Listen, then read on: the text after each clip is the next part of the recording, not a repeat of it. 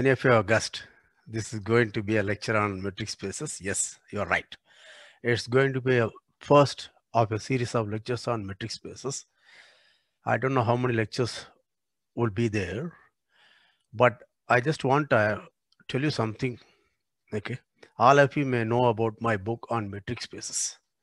I don't plan to cover all because that will take about 60 to 70 lectures. So it's not possible. But what I plan to do is to introduce the basic theory of metric spaces, which will be needed either to understand analysis on RN or functional analysis or as a stepping stone to general topology in your MSc. Okay. And even if a complex analysis you want to learn, this should be enough. So to achieve that, what I plan to do is I define metric spaces and give a very small set of examples. Okay. So any concepts we do with the metric spaces, introduce in metric spaces, we'll come back to these examples and understand them so that you will be able to have some kind of confidence about the concepts and you will be able to work with metric spaces in general. Whereas in my book, I deal with a lot of examples which are needed in functional analysis and other parts of mathematics. But as I said, here my limit scope is limited. Okay.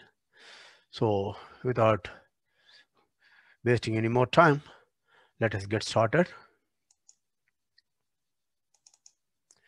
Yeah, of course, the references, as I said, uh, topology of metric spaces, my book. So the beginning thing is what I assume all of you have little bit of real analysis background at least. So I'm going to start with that. So what we know, if I have R, I know what is meant by a sequence Xn in of real sequence which converges to X. What is the meaning?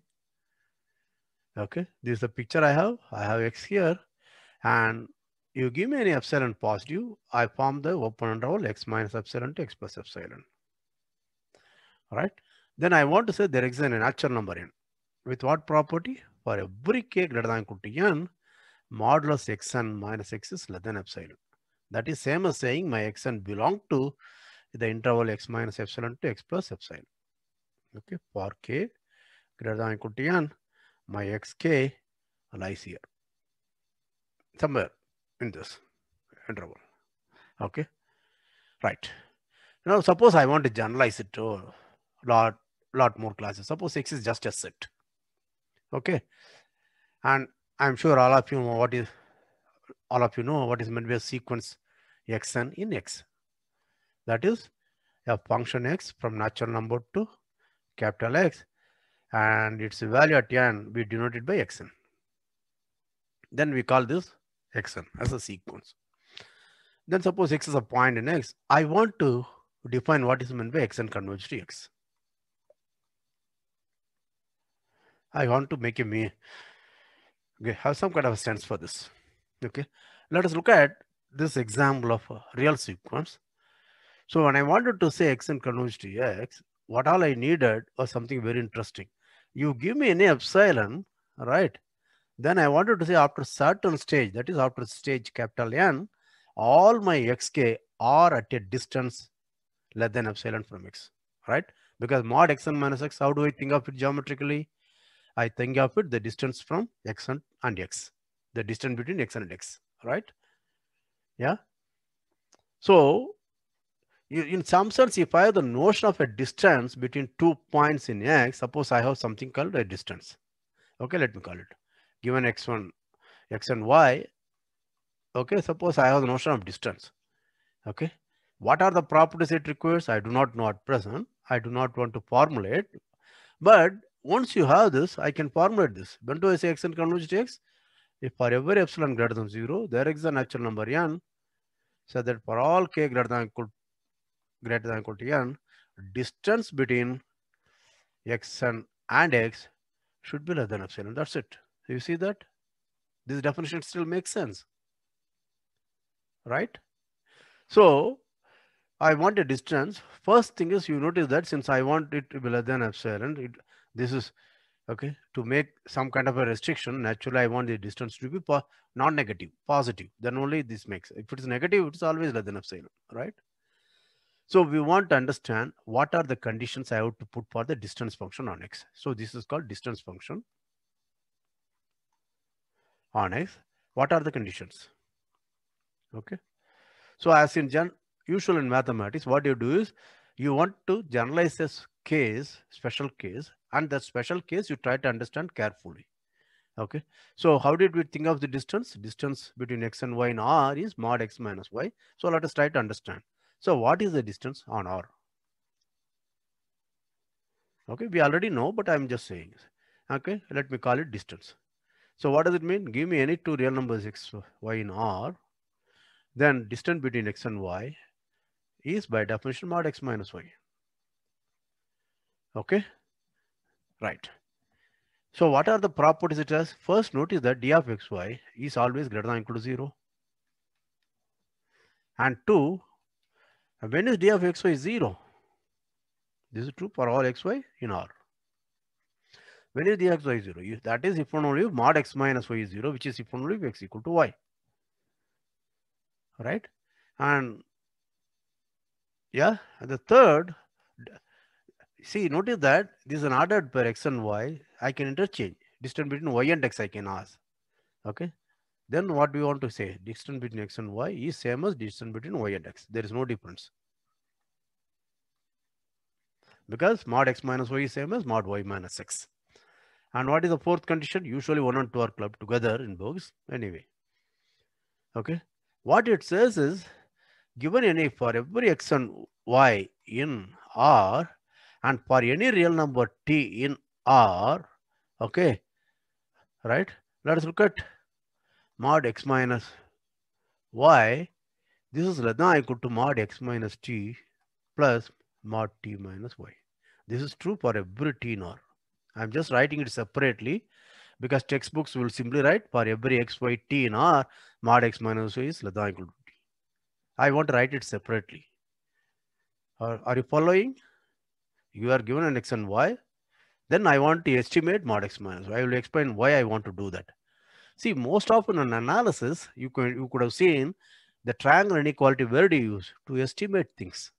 So I may not know the distance between x and y. That is mod x minus y. I may not know, but I want to estimate it. Maybe I want to show it's less than epsilon. Okay, I may not be able to prove directly. So what will I do? Okay, choose a t. Okay, I should be an intelligent choice, very smart choice. Okay, in such a way that mod x minus y is okay, mod x minus t plus mod t minus y. This may be less than epsilon by 2. This may be epsilon by 2. Therefore, this becomes epsilon by 2. You understand that? So this way of formulating triangle inequality tells you that, okay, this is true for every t, but what is important is if you want to estimate mod x minus y, you ought to choose t carefully. This is what usually I call as curry leaf. Okay, if you have seen my real analysis book or videos, you will know that word. But anyway, let's not worry about. This is called triangular inequality.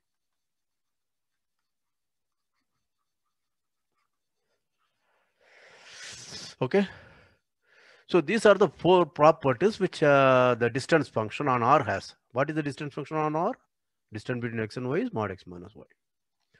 So now we can define. Suppose x is any non-empty set. Hereafter I will simply say set. I mean non-empty set. Okay. Then what is the distance? Distance function is a map from x cross x to R. Okay. Why I want to say x cross x? Because remember I said an ordered pair. Ordered pairs are elements of the Cartesian product. Right. Okay. So what is the first condition I need? This distance function. Okay. This d takes value non-negative values. You can also write as 0 to infinity perhaps, but usually I write like this. And second condition, distance between x and y is 0 if and only if x equal to y. So I call Okay, I want to define a distance function on x. That must be a function from x cross x to r. But I wanted to satisfy these conditions, exactly these four conditions. That is why I wrote it as d instead of mod x minus y. Okay, so now can you tell me what is the third condition? Yes, third condition is See, t is a function from ordered pair xy, right? The ordered pair xy and the ordered per yx. If y and x are different, then this they are not the same. Therefore, distance between d of yx may, may be a different real number, non-negative number, but what I want is they should be the same. This is called symmetry. Okay. And what is the fourth condition? Fourth condition is this. That is, for give me any x and y in x, then I know what is the distance between x and y. I may not know, but I want to estimate it. How will I do that? This must be true for all x and t and t and y. This must be true for every t in R. So I will usually write for every t in R separately, but usually textbooks will write for every x, y, t in R. But they are the same. But why I am writing t separately is that t is my choice. If I want to estimate distance between x and y, then I can choose t more intelligently in a very smart way so that I can estimate the distance between x and y. That is the reason why I am writing t separately. Okay, this is called triangle inequality. So suppose I was set x and a distance function d, okay, x cross x2 are satisfying 1, 1 to 4, then I call d as a distance function or a metric.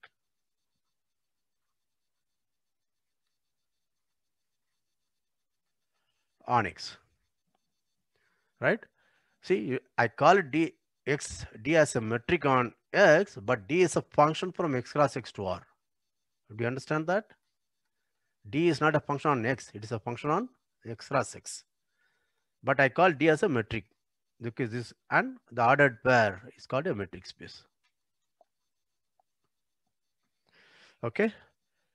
Please go through the definition once again.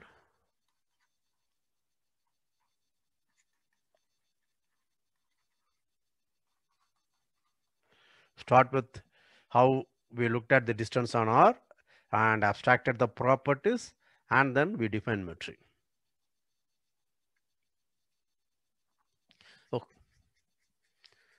Okay. Now let's look at examples. How much time is for? Still 48. Okay. Now let's look at examples of metric spaces. What are examples of metric spaces? As you already know, I am somewhat impatient fellow. Hereafter, I will write m dot s for a metric space. The first example is, of course, R. What is the metric? Metric is the standard. This is why I will call it standard metric. Okay. Right. Okay. This we had already checked because our definition of D came out of this observations for the properties of this distance, right? So there is nothing to check. Okay. But the next most important example is Rn. This is the ordered n tuples. Okay. I will simply write it as x. This is a vector in Rn. Think of it as a vector in Rn. I am sure that all of you have learned some linear algebra. Right. Okay. So I will write only x. Right. And if for slightly uneasy, you look at n equal to 2. And I will also emphasize n equal to 2 or n equal to 3 if and when necessary. Right. So all of you know in coordinate geometry, okay, if you are given 2, n equal to 2 in coordinate geometry or 2, here I will not write x1, x2, I will write as xy and let us say uv. These are two points on R2. What is the distance between them? You write wrote it by means of Pythagoras theorem. This is xy. This is uv. This distance is what I want. You wanted. What you did is you did the Pythagoras distance because this is x, this is u, and this is y, and this is v. So this distance squared, this distance squared will be this distance squared. Therefore, distance between xy and uv was this is in R2. Okay. Mm-hmm.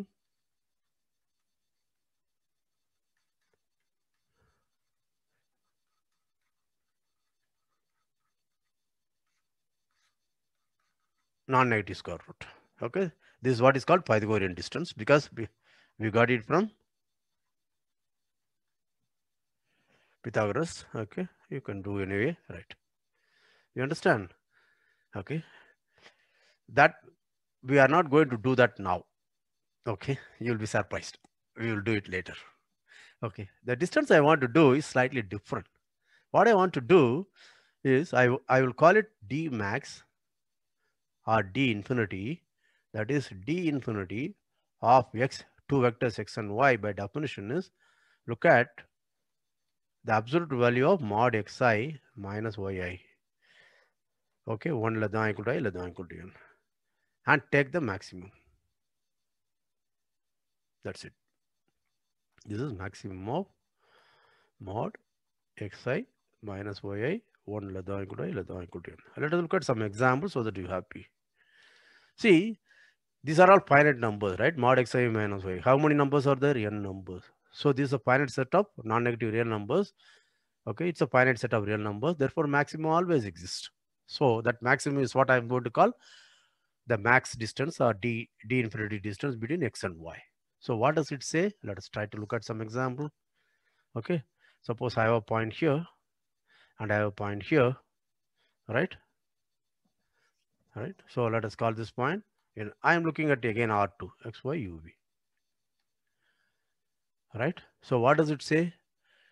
It says take the difference between the, see what is X? X equal to X1, X2, Xn, Y equal to Y1, Y2 and therefore X1 minus Y1 modulus X2 minus Y2. Here mod X minus Y, U. That means you drop this here, okay? This is U and this is X. So this is one distance. Okay, let us call it a name. This is mod u minus r x minus u doesn't matter. You understand this? Yeah. All right. Now what do you what is that I want? Next one is x2 minus y2. That is second coordinate minus second coordinate of the second vector.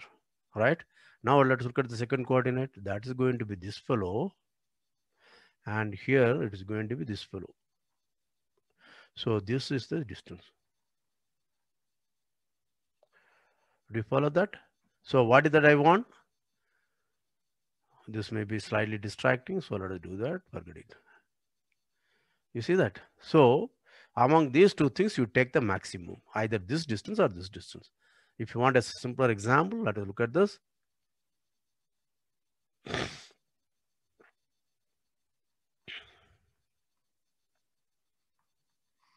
So this is this distance or this distance.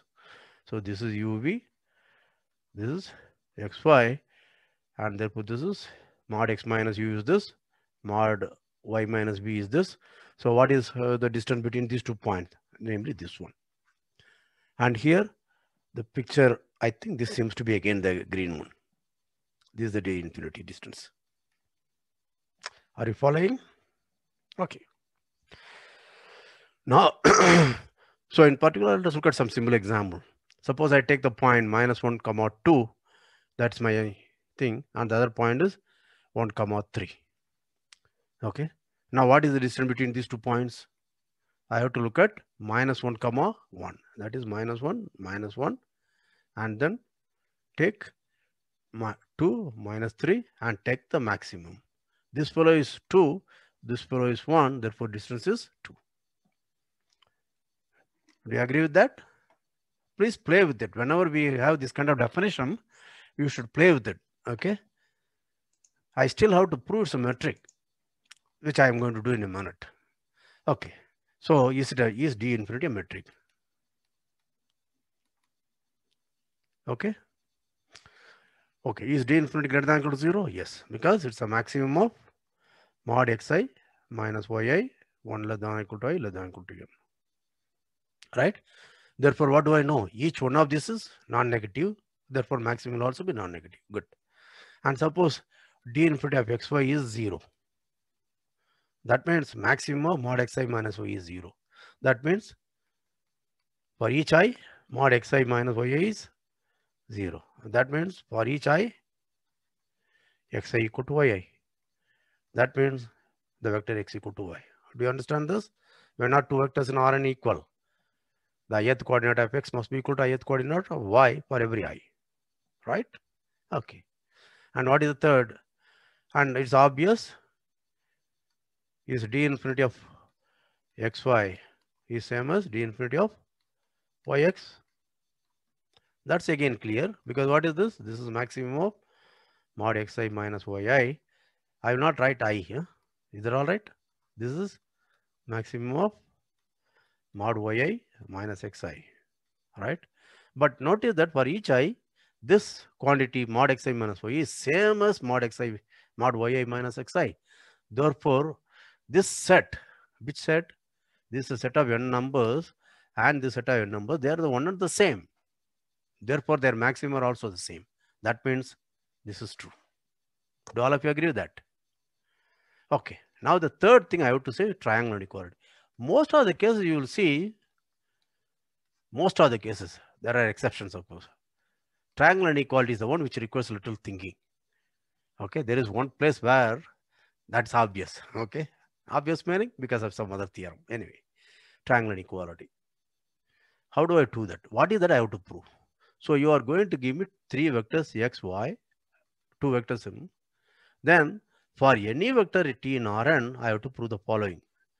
d infinity of xy is less than or equal to d infinity of xt and plus d infinity of ty. Is it alright if I drop d, write d for d infinity so that it will, my time will be saved? Okay.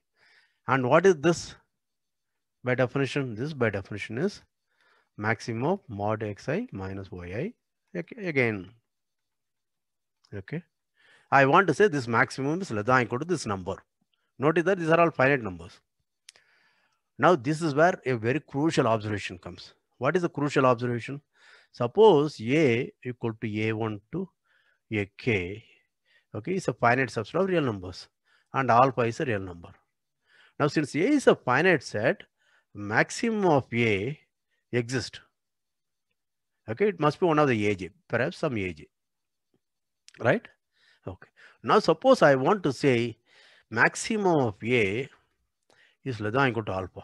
This is what I want to prove. You understand this? Right? I, I may not be able to find out what is the maximum, but I want to say maximum of a, a is less than equal to alpha. Okay. This is equivalent to proving this happens if and only for each i, ai is less than equal to alpha. Do you agree with that? Because if a is less than equal to alpha, the maximum aj is also here, therefore aj will be less than equal to alpha, right? And hmm. suppose maximum of a is aj, then if it is less than equal to alpha, since aj is a maximum, a is less than equal to aj, but aj is less than equal to alpha, therefore maximum of a is less than equal to alpha. Do you understand this? Pause, review, proceed. So if I have a finite set of real numbers, to prove its maximum is less than equal to alpha, okay, it is wiser to prove each and every element of A is less than equal to alpha. That is the basic idea you should have in mind. You will see how repeatedly we will use it. Okay. Even in analysis, you replace this by my LUB, but it's the same trick. So let's come back. So if I want to prove ma maximum of mod xi minus yi is less than equal to this number, this is your alpha. This is your a. So maximum of a is less than equal to alpha. How will I prove that? According to this principle, I have to prove each a is less than equal to alpha. You understand that? So enough to show mod xi minus yi is less than equal to d of xt. Remember, d of xt is d infinity plus d of ty. This is true. I have to prove for every i. Right? But what is t? t is t1 to tn. Now, by triangle inequality, I already know d xi minus yi is less than equal to xi minus ti for any t it is true, but what t I am going to choose? You know, you see that? I am choosing my t smart. Okay, not any tj or t1 or tn. I am choosing ti that will be less than equal to and yi minus, sorry, ti minus yi. Do you understand this? Right. But notice that, okay, mod xi minus yi, that will be less than equal to distance between x and t. Why? Because distance between x and t is maximum of all mod xi minus ti. You understand that? Yeah? Right. This is like this. AI will be less than equal to AJ. That's what I'm using. Right? And similarly, this will be less than equal to T of Y. Yeah? You understand this? Mod xi minus yi, 1 less than equal to i, less than equal to infinity.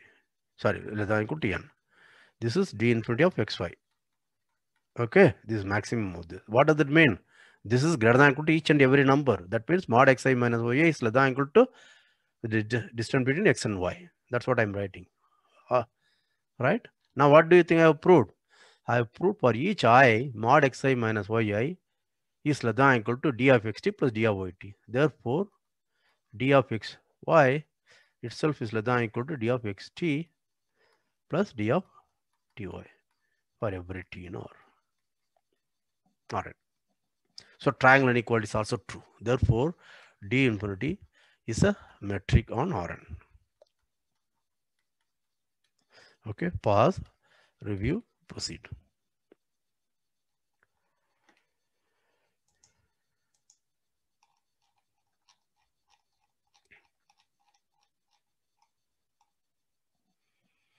Okay, now we want to look at the next example. Let me see how much time I have. Oh, 20 minutes. So, so the next example again is Rn, but with what I call a metric D1. Let me again explain it with respect to R2. So suppose I have two points X, Y and UV. Okay. Now the way I sum is look at from here. Suppose you think of a road. Then I will travel from here to here and then take take this road to travel from here to here. You understand that? Yeah, suppose I have a point here, I have a point here, I'll come down, go up, or also I can equally do like this. I can go up and then come down. Right? So can you can you guess how to write down the metric D1? Okay, let's write D1 of XY UV. How will you write it? This is this is which point? This is u comma y. Yes, x coordinate and y is the same. So this distance is mod x minus u and this distance is mod y minus v. You understand? That is yours. Earlier, what did we do? You look at mod xi minus yi, take the maximum. Here, what I were doing? Mod xi minus yi and add all of them. Are you following? Therefore, distance between x and y is by definition mod xi minus yi i equal to 1 to n. This is our definition. Okay, this is called sum metric d1 1 for sum. Have you understood? Yeah. So let us look at the earlier example. Somewhere we looked at, uh, yeah. Now let us look at minus 1 to uh, 2, minus 1 2, 1 3. D infinity metric is 2. But what will be D1 metric of minus 1 2 and 1 3? Okay, this will be minus 1 minus 1 plus 2 minus 3 that is 2 plus 1 that is equal to 3. Yeah, do you understand this? Yeah, okay. Now let's go do the general checking. I would like to check whether this is a metric. Is the first property true? True. Is the second property? If d1 of xy is 0, what does it mean? It means summation mod xi minus yi is 0. But this is the sum of non-negative numbers. That is 0. That means for each i mod xi minus yi is 0. That is only for each i xi equal to yi. That, but that is if only the vector x equal to the vector y. Yeah. So 2 is also true. Now 3 is obvious. d1 of xy is d1 of yxy. d1 of yx will be mod yi minus xi, but each of the ith summand, okay, correspond the corresponding ith summand, they are all equal. Therefore, this is clear, right? The ith summand here is xi minus yi for this. For this ith summand is mod yi minus xi, but they are equal. Therefore, each ith term corresponding ith terms are equal therefore the sum is equal. Sum. Okay good. Now fourth thing what is that i want to do? You start with xy in rn. I want to say d1 of xy is less than or equal to d1 of xt plus d1 of ty for every t in R, rn okay i want to check that right now let's look at what is d1 of x. This is mod xi minus yi, i equal to 1 to n. Now like last time I do that. I want to estimate mod xi minus yi, right? What do you think I will do? Can you guess? Look at the way I did maximum. I wanted to use the triangle inequality for this metric. Okay. The triangle inequality for this metric d infinity followed for the triangle inequality for real numbers absolute value for real numbers. Yeah? Right? Do you follow that? So here the same trick. So i want to use the triangle inequality. What it, so that means mod xi minus y is less than equal to mod xi minus t plus mod t is now a real number not a vector. Plus t mod yi what t i I will choose here yes you are right mod xi minus ti plus mod ti minus yi. Do you understand this? This is true for every i. Right? Therefore, each of the term is less than equal to mod xi minus ti plus mod ti minus yi. Okay, this term is less than equal to these two terms. You understand this? But this is a finite sum, so I can break it. I can break it as xi minus ti 1 to n plus mod ti minus yi 1 to n. But that is d1 of xt plus d1 of ty. So triangle inequality is also proved. Yeah, please go through this. So this is the third example. Maybe I should write as example so that people know we are talking about examples.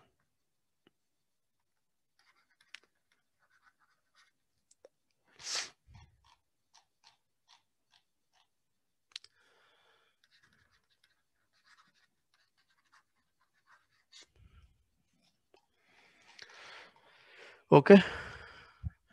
Now, fourth example, I'm going to simply do it. I'm not going to do anything. Okay. This is again x equal to Rn. And this is what we call D2 Euclidean metric or Pythagorean metric. This is C.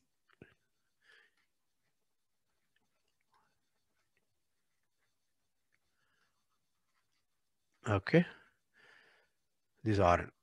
Well, okay, for R2, you already know I'm going to depend on that. Okay, so how do you define D2 of xy? This is what is usually known as standard metric on R Rn, also known as standard metric or Euclidean metric. Okay, right. This by definition is what you did for uh, a R2, you do it xi minus yi whole squared i equal to 1 to n and then take its non-negative square root. Okay. See here, one, two, and three are okay. But to prove triangle inequality, okay, you need what is known as Cauchy-Schwarz. Okay. For n equal to 2, you had already seen it in coordinate geometry using Pythagorean Pythagoras theorem. Pythagoras theorem. Okay. So this I am not going to prove it it will be available in a separate video which will be released simultaneously. That will be called rn with dot product. Okay in that i will prove this. Okay let us assume that. So therefore this is also a metric. Okay so we are assuming for the time okay because it will take some time quite some time for us to prove so i don't want to waste my time. So let us go look at example 6 now 5, sorry. Okay, what is example file? This is something interesting. Suppose X is any set. Okay. Now, it is like, you know, something like, uh, you know, see, there, there is a team leader. Okay. There is a lot of people in that, along with him in the group. Okay. There are a lot of people. Okay. This is the team leader. Now, what is this? He says, okay, either you are with me or you are against me. Nothing like neutral or anything. Okay, you understand that? Either you are my friend or you are enemy. There is nothing like no enemy, no friend. See, I can be, I may not be an enemy, I may not be a friend also. No, that's not allowed. Either you have to be my enemy or you have to be my friend. Something like that here. yes. Okay. What does it mean? You give me d and xy. Okay. Suppose x equal to y. If I want this d to be a metric, what should I do? Naturally, it has to be 0. And suppose x is not equal to y, this is what I say. Okay, you are not me, therefore it must be 1. You understand this? Take two point, two points meaning x and y in x. Okay, they may not be distinct. Take x and y in x. If x equal to y, the distance naturally has to be 0 because metric, the second property of the metric demands that. Okay. Now suppose x is not equal to y, then it must be non-negative real number. What is it? It's always 1. Immaterial of what is x, what is y. The moment x is not equal to y, distance between x and y must be 1. Good. Very good. Now is it a metric? So as usual, I am going to skip 1, 2. They are all trivial. So let us assume. Okay, check it. Or check them. Now triangle inequality. What is that I have to do? Whether dxy is less than or equal to dxt plus dty for every t. That is you fix, give x and y in capital X. I want to prove whether this is true. All right. Okay. Let's try to understand this. Okay, let us do that. Okay. Now, notice that D takes only two values. What are the values? 0 and 1. Right. Now, suppose one of these guys, okay, one of them is 1. Either this is 1 or this one. There is nothing to prove. Why? If one of them is 1, the other one will be non-negative. Therefore, the sum will be greater than or equal to 1. But what is dxy? Either it has to be 0 or it has to be 1. Do you understand this? Yes. If one of them is 1, I claim this inequality is obvious. Because if one of them is 1, the other quantity is non-negative. Therefore, this sum is greater than equal to 1. But dxy, eh, okay, take, takes values either 0 or 1. Therefore, it is either 0 or 1. So, in any case, this will be less than equal to 1 because this object is greater than equal to 1. Yeah? Okay. Therefore, we had the cases, first cases, one of them is 1. Either this is 1 or this is 1, done. So, what is the left out case? Left out cases, none of them is 1. If none of them is 1, that is dxt is not 1 and dty is not 1. What does that mean? dxt takes only two values, 0 or 1. It's not 1. Therefore, it must be 0. This must be 0. But dxt is 0. If I want it to be a metric, what, let's look at the definition. When it is 0, only if x equal to t. And when this is 0, only if t equal to y. You follow that? Okay. So if both these fellows are 0, then that follows x must be t and t must be y. That in particular, this implies x must be y. Because x is t and t is y, therefore x is t. But if this is x equal to y, then what is this then? This side is 0. You understand that? This is 0 plus 0, it cannot be 1 because here x equal to y. Do you understand? Please pause, review, proceed.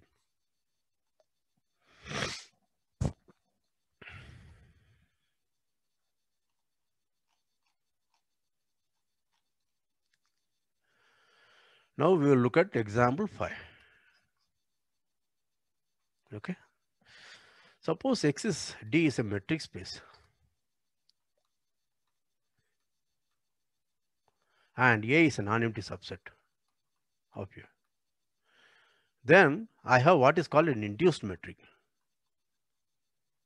By restricting D, remember D is a function from X cross X to R with certain properties right But A is a subset of X. Therefore, A cross A is a subset of X cross X. Therefore, I can restrict it. This is called restriction. X A cross A to R. To make you understand, let's look at some symbolism. My X may be set of cities in India.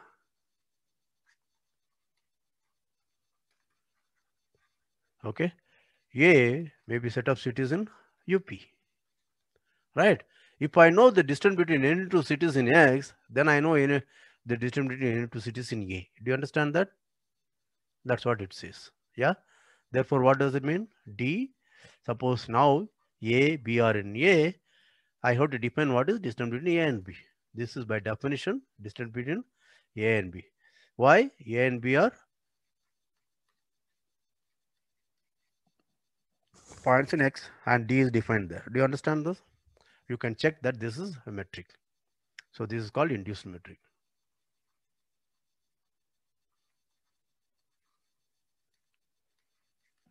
Okay, that means the moment I have a, a metric on a set, then I have a metric on any non-empty subset of X. Yeah, the example is just now I said. If I know the distance between any two cities in India, then of course I know the distance between any two cities in any state, for example. Okay, right. This is which example? Five. Now let's look at example six. Depending upon time, I will decide which example I want to do. Right. So example six is the easy one. Suppose x, I will write it x1 d1 for the time being and x2 d2. These are metric spaces, two metric spaces. Then I form x, which is a Cartesian product x1 times x2. What is the, This set of all ordered pairs x1, x2, where xi belong to capital Xi. Ordered pairs, right? Okay, I want to define a metric on this. Okay, so let me take point x1, x2 and y1, y2. That is x1 is x1, x2 is an x2, y1 is x1, y2 is an x2. So I want to define. This is exactly similar to the way I define the D infinity metric. Can you think how it should be done? Think of this x. Okay, this is x. Now I have point. Okay, this is my x1, x2. This is my y1, y2. Now what do I know? I know the distance between x1 and x2 and I know the distance between y1 and y2. You understand? This is my x1, this is my x2, this is my x2, this is my y2. Okay, this is my x1, this is my y1. Right? So how did I define D max metric? At the same I define. How do I define? This is maximum of okay distance between x1 and y1 the first coordinates. This is d1 if you want to be very precise d2 of x2 y2 do you understand this? This is y1 and y2 they are in the space and in that sorry this is x2 this is x1 okay the same way we're defining. Please uh, take some time okay notice that analogy with the d infinity metric on r2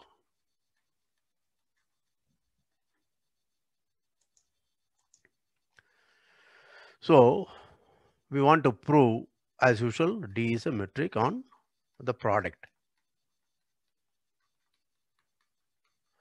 So i'm going to skip one two three. We will directly try to prove that okay? It's a triangle inequality true. Proof? I leave it as an exercise. Exactly similar. To the proof of triangle inequality. In d infinity case. Okay? So you if you want to master you should try. If you don't get please leave your comment. In some future video i will give the proof. Okay but the best it's very easy it's exactly the same so please do that Now the last example of this lecture. Now suppose xd is a metric space, right? I want to define a new metric. Okay, the new metric I will call it the delta. Later I will don't want to use delta because you, as you know, we are going to do epsilon delta. Therefore, this delta should not interfere with that delta. That delta will be a positive real number, whereas this delta is a function from x as x to r, right? I can call it some other name, but let me call it delta. Later I will change it, okay? Maybe we will call it a, a beta or some something. Beta for b and b for bounded. Yeah, that may be a good idea. Okay, let me try. I should not get confused with that. Okay, let's do that. Okay, so what are the things I want to do? So I will going to define beta, okay, of xy is, okay, I want to take two numbers, one and distance between x and y. These are two numbers. d, d of xy is a real number, non-negative real number. One is also non-negative real number. So now I give you two choices. Should I take minimum or maximum? I either I want to take minimum or I want to take maximum. Then I will prove then beta is a metric, right? But I'm in a dilemma. Should I take minimum or maximum? How will you resolve that? How will you help me? I want you to help. Very easy. If x equal to y, beta of xy must be 0. Do you understand? So if beta of xy must be 0. Now, if x equal to y, d of xy is 0. And I have 1. If I take maximum, then beta of xy will be become 1. Beta xx will become 1. But it must be 0. Therefore, what should I choose? I should choose minimum. Do you understand this? Very good. Okay. So as usual, I will skip 1, 2 and 3 we will skip. Okay, they are obvious, very easy. You, by now you should know how to do that. So let us try to prove triangle inequality. What does it prove? You are going to give me x and y in x. Then I want to say beta xy is equal to beta xt plus beta ty for any t in x. Yeah. I want to prove this. Do all of you agree? Right. Now let us, before going for, well, let us kind of play with the definition of beta. Right? Now suppose I take beta xy, okay? What is the relation between beta xy and 1?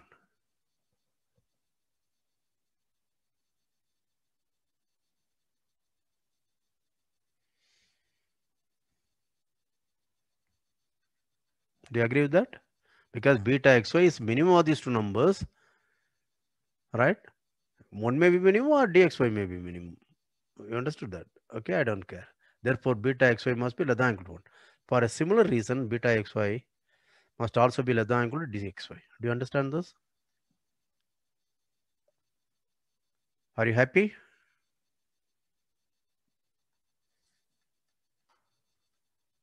Yeah? Okay. Next. Suppose my dxy is greater than 1. Then what is beta xy? Go back. dxy is greater than 1. My beta xy must be minimum of 1 and dxy. Since dxy is greater than 1, what should it be? It should be 1. You follow that? Yes? Okay. Now, suppose beta xy equal to 1, what can I conclude? Go back. See, beta xy is minimum of 1 and dxy. Therefore, beta xy must be less than equal to 1. And beta xy must also be less than equal to dxy. Therefore, what do I know? dxy must be less than equal to 1. Do you understand this? Huh? Please don't nod. Okay, go through. beta xy is 1. What did you see? Beta is always less than equal to, it's a minimum of this number, therefore it must be less than equal to dxy. But beta xy is 1, therefore that shows, sorry, yeah, sorry, sorry, see, that's why I told you, don't, I hope you did not. what is or equal to dxy, right? Beta xy is than equal to 1 and this one. Therefore, it's than equal to dxy, but beta xy is 1. Therefore, dxy is greater than equal to 1. You see that dxy is greater than 1. Naturally, beta xy is equal to 1. Therefore, I can actually put this way now. Do you follow this? dxy is greater than equal to 1 if only beta xy equal to 1. Make sure you understand this. Is it clear? Okay. Next, suppose dxy is less than or equal to 1. Then what is delta xy?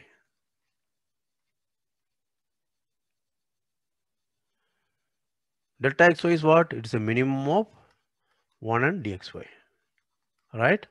Suppose dxy is strictly less than 1. Then delta xy will be dxy.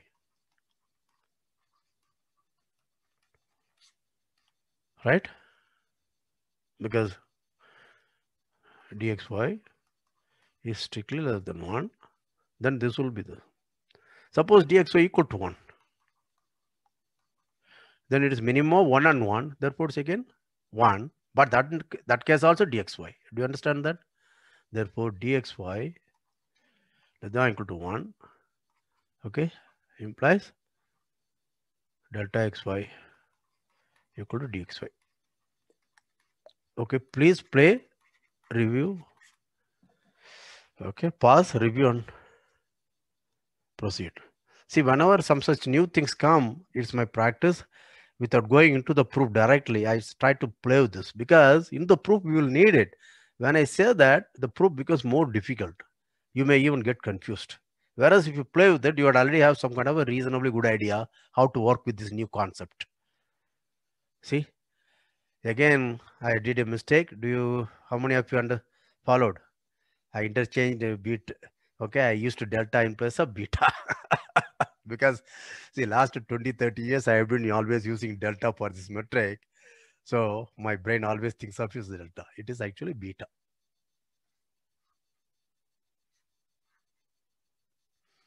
Here also, did I do that? Yeah. Okay. Now let's come back we are ready for the proof.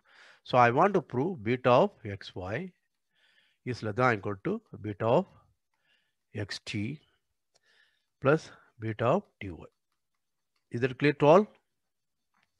Okay. This is true for every t I want to claim. Sorry, in x. Okay. Suppose one of them is 1. See, remember beta always is less than equal to 1. Do you understand that? we have seen that beta is always less than equal to 1, no matter what x and y you choose. Right? Okay. Therefore, this is less than equal to 1. Suppose is beta xt, one of them, one of them, as I did earlier, let me write that. One of these is 1. Yeah? You understand that? Now I want to prove beta xt. See, if one of this is 1, please pay attention. Do not get intimidated. This is very easy because many times teachers don't prove that. They will simply say, leave it to you to verify. If one of them is 1, let us say beta xt is 1 for definiteness sake. Then 1 plus beta ty, okay, this is greater than equal to 1 because this is non-negative. But this object is nothing other than beta xt. And this is beta ty. You understand that? But let's take, take beta xy. But I would observe for any x and y, beta xy is always less than equal to 1. Right? But 1 is less than equal to 1 plus beta ti Because this is 1. But that is, 1 is nothing other than beta xt plus beta ty. You follow that? Yes. So what do you think I have proved? If one of these fellows is 1, I proved the result. What? right? So that case 1 is over. What is case 2? Case 2 is beta xt. My choice of t is like that. Beta xt is less than 1 and beta Vt is also less than 1.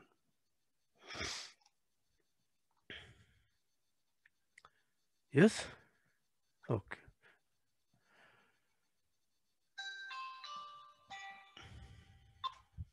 You follow that? Okay. Now beta xt is less than 1. Beta ty is less than 1. Now, what is that you expect? I want to say, okay. Now notice that beta xt is less than or equal to distance between x and t. Go back. Beta is always less than or equal to d. Yeah, right. Now, beta xt is less than 1.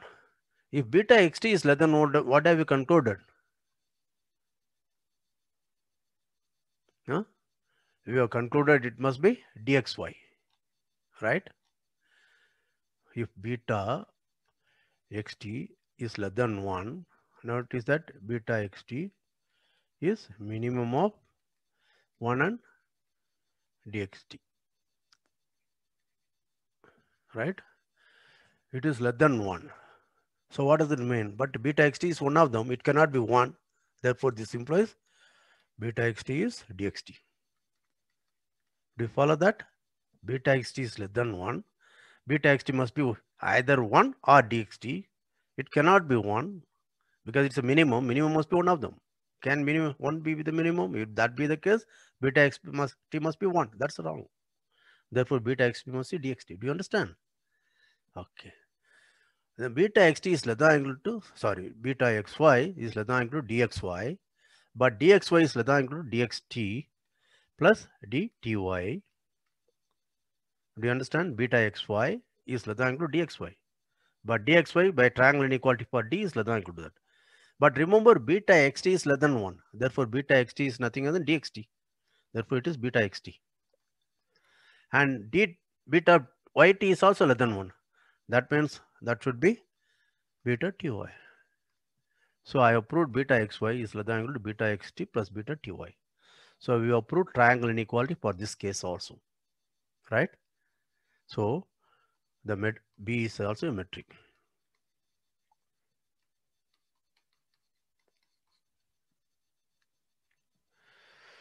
So we had looked at some, how many examples? Seven examples. You will see throughout the course, I will be coming back to only these examples. Okay. The first three examples are very geometric. Okay. The last one was something. Okay. So please go through that. And as I said, the triangle inequality for R2 with Euclidean metric or Pythagorean metric, I have not given the proof. As but the proof, as I said, will be available in another video. Rn with the dot product. In that, I will prove Cauchy-Schwarz inequality. From that, I will also deduce the triangle inequality for the Euclidean metric D2. Okay, I hope you all enjoyed. Okay, we'll meet again. Thank you. Take care. Stay safe.